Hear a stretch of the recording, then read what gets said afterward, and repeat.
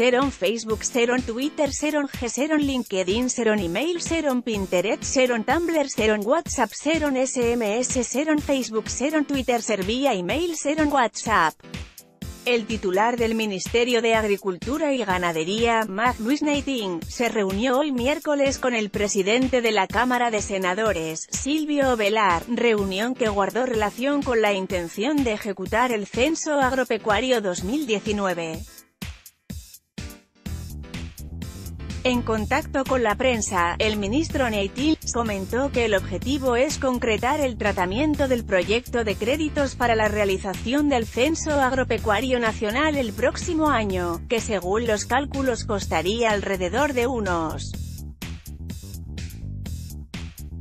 Además, la visita del titular del MAG al Congreso Nacional guarda relación con el acompañamiento y solicitud de la aprobación de ley de la agricultura familiar campesina.